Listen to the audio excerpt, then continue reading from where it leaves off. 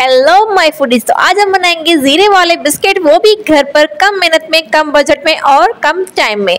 तो बिना किसी देर के बिस्मिल्लाह पढ़ते हैं और रेसिपी की तरफ़ चलते हैं। सो लेट्स गेट स्टार्टेड सबसे पहले हमें चाहिए मेल्टेड घी तो यहाँ पे मैंने फोर टी टीस्पून भरकर मेल्टेड घी लिया है, ठीक है?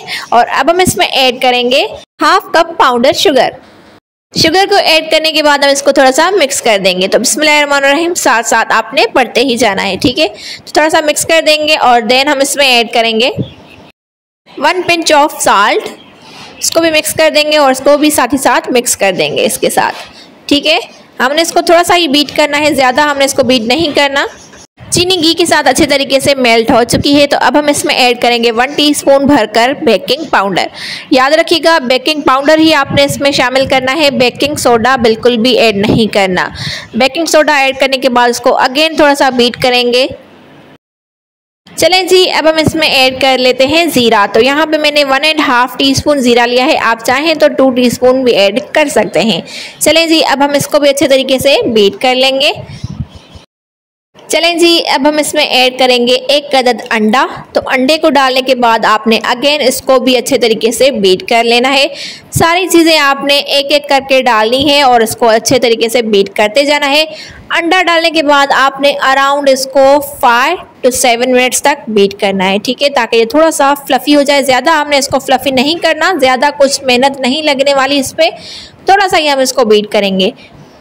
तो ये देखिए, अंडे को मैंने पाँच से छः मिनट तक अच्छे तरीके से बीट कर लिया है और अब हम इसमें ऐड करेंगे मैदा। तो मैदे को आपने अच्छे तरीके से छन्नी में छान कर फिर ही यूज़ करना है। तो इसको थोड़ा थोड़ा सा डालते जाएँगे और अच्छे तरीके से मिक्स करते जाएँगे। मैदा हम यहाँ पर तकरीबन one and half cup use करेंगे। हमने इसका जैसे डो तैयार करते हैं, वैसे ही हमने इसका डो तैयार कर लेना है। चलें जी बीटर को साइड पे कर दिया है और अब हम इसको हाथों की हेल्प से डो की शेप दे देंगे, ठीक है? यानी कि इसका डोसा तैयार कर लेंगे। ज़्यादा हमने इसको गूंदना नहीं है, बस थोड़ा सा ही हमने इसको गूंदना है ताकि डो की शेप में आ जाए। तो अल्हम्दुलिल्लाह डो हमारी बिल्कुल रेडी हो चुकी है। चलें, इसको बाउल में से निकाल लेते हैं और इसका एक बॉल सा तैयार कर लेंगे। चलें जी, अब हम इसको अच्छे तरीके से रूलिंग पेन की हेल्प के साथ बेल लेंगे। जैसे हम रोटी को बेलते हैं, सेम आपने वैसे ही इसको बेलना है, पर रोटी से थोड़ा सा इसको मोटा रखना है। आप सबसे एक रिक्वेस्ट थी कि वीडियो को आप लास्ट तक देखा करें और रेसिपी अच्छी लगे तो लाइक भी ज़रूर कर लिया करें। आपके एक लाइक से अगर किसी के चेहरे पे मुस्कान आ सकती है तो वाई नॉट तो जल्दी से एक लाइक कर दें और एक प्यारा सा कमेंट भी आपने लाजमी करना है। तो ये देखें मैंने इसको अच्छे तरीके से, मैंने नहीं सॉरी मेरी सिस्टर ने, मेरी सिस्टर बना रही है आज की रेसिपी तो मेरी सिस्टर ने इसको अच्छे तरीके से बेल लिया है और अब हम इसको कुकी की शेप दे देंगे। यानी कि बिस्किट की शेप जैसे होती है, वैसे ही हमने इसको कटिंग कर लेनी है।